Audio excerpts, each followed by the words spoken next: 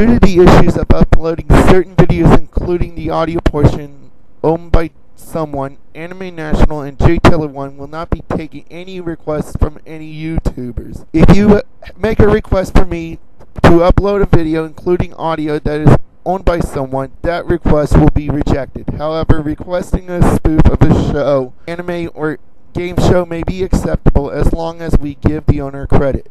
Thank you.